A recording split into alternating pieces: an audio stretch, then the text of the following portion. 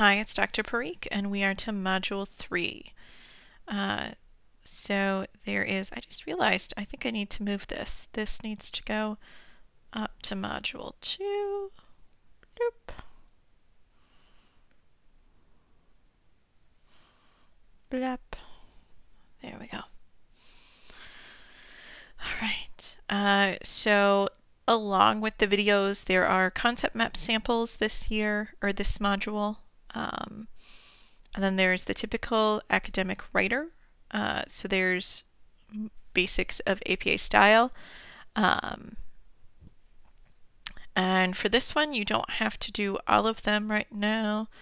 I should have mentioned uh, up here actually. So I have you do them a little out of order, uh, but you do all of them eventually. So if you just did all of them, it's not a big deal. Um, how to find reliable sources, um, citing sources, bias-free language. Uh, and bias-free language, you'll notice there's lots and lots of different things, and that's partly because uh, there are different standard, there are different pieces that have come out at different times. So for example, last week we looked at guidelines released at the end of 2021, and so those might have more comprehensive information or more up to date information than things that are an academic writer. But also, I just believe that this kind of writing takes a long, you know, there's a lot of details, and so more exposures increase the, you know, the amount of learning. And also, I want to keep in mind that this is lifelong learning because standards will change. Um, cultural preferences will change, and also awareness will change.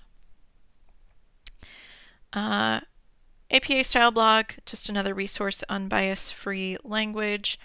Um, here, we're mostly focused on pulling things together and outlining your discussion.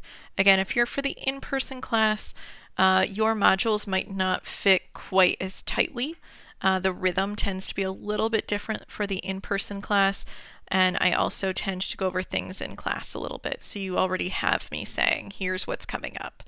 Um, here you're doing a, you know, you're you're doing simultaneously. You are writing up notes for previous articles, finding new articles. Um, you are not spending as much time with those as you might have spent with your first one or two articles, but you're also not expected, especially for four, five, and six, you're not expected to report out quite as much information. Um, but these are a lot of quick turnarounds. I encourage you, feel free to just uh, do all your articles on Monday uh, so that I can approve them all and you have a little more time to work with them. Um, by the end of the week, you're pulling together a concept map, and again, there's examples of what that might look like. Uh, it might be something that you just kind of make in a Word. It might be something where you print things out and tape them all together. Uh, and just uploading a photo like this is fine. Um, you're also going to be scheduled, and the, the date for this might change semester to semester, um, but you're going to be scheduling a feedback session with me or requesting a video. Um, for online, I definitely give you the opportunity to request a video in person. Um, my policy might change semester to semester. Um, I really, I strongly encourage you to do a live meeting with me because we can have back and forth, we can clarify things. Uh, I think you can get a lot more out of it. And I think for me, uh, I would be really nervous about it. And so I would be really inclined to ask for a video instead just to avoid the tension of that meeting. But when I ask students about it, what I get so often was it was a lot less scary than I thought it would be. Um, I am very cautious. I take very seriously that I'm asking you to be really vulnerable.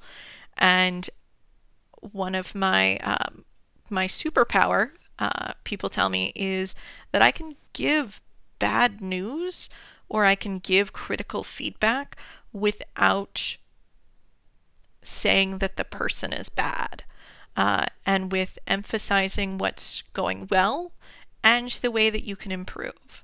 Um, so I think I am uniquely positioned to teach this course in a way that's honest and detailed and also helpful no matter what level you're coming at with writing. Uh, you're also going to put together an outline. And by out, so concept map is kind of loosey-goosey as you see. Um, the focus here is just on breaking things up and having at least three different sources under two themes. But this discussion outline is quite detailed. You are writing out most of this section, but you'll get most of the information from your, your first three article notes. Um, so it goes fairly quickly. Uh, next module, we'll be looking into putting together more of the paper. And by the end of module four, you have your first final paper. So this class happens very quickly. Um, let me see, is there anything else I want to comment on? Make sure uh, that you're still doing your discussion posts. Those are meant to help prop up your grade. Uh, you're still doing paraphrases, so you're still getting peer feedback. Uh, and let's see. Yeah. And you've got APA quiz happening in the middle too. So there's still a lot of assignments. Each of them, you know, none of them are four hour assignments, um, but it, it is still a lot of little things as you go. Take care. Bye bye.